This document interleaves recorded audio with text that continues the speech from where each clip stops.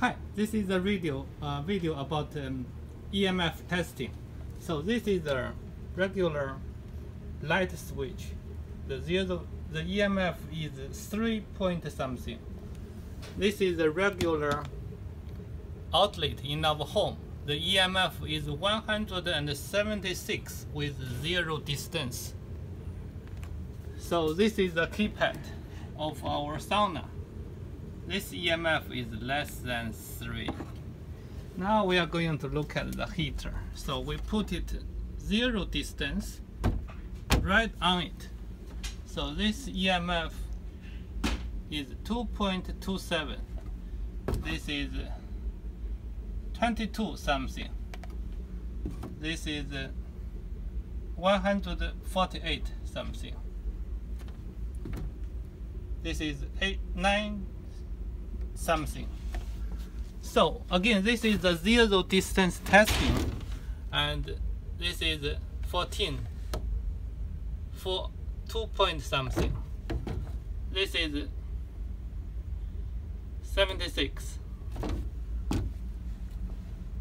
This is 42.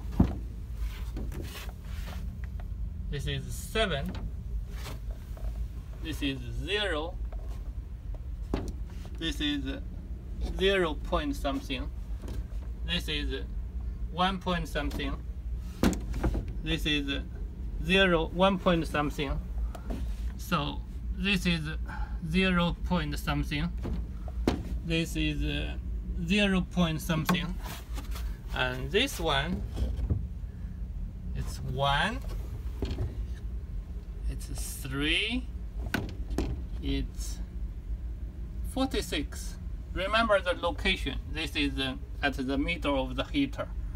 So this is 7 this is 1 this is uh, 0 so let's look at the back. So if we put the meter right on the panel the EMF is 3 it's 0 it's 0 something it's 1 point something. But if I put the meter right on the wire it's 11 something. And uh, if we put this way it's 65 if we put at the connection it's 13 something now if we put this way it's 73 vertically so. So do you remember when we test at here this reading was very high because the wire is at the back. So now we come to another sauna. Of course this is turning on for sure.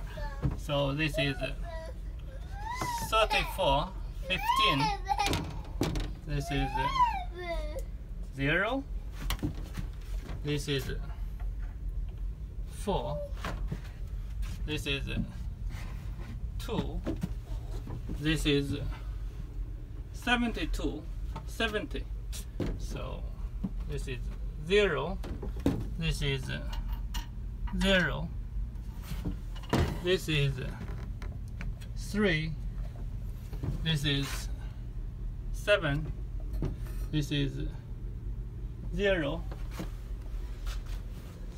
so what I'm trying to explain is if we put the meter right at the center of my room there is still a reading.